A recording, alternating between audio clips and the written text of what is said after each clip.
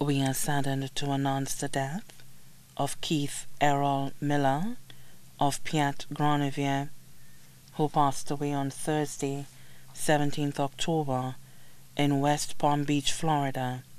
He was 63 years old.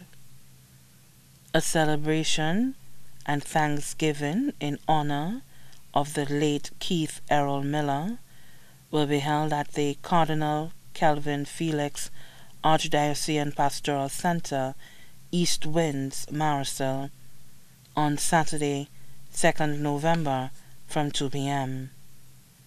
The family would prefer colorful attire and as such invite you to wear your favorite colors to the service. Special note, no flowers please as the body will be cremated.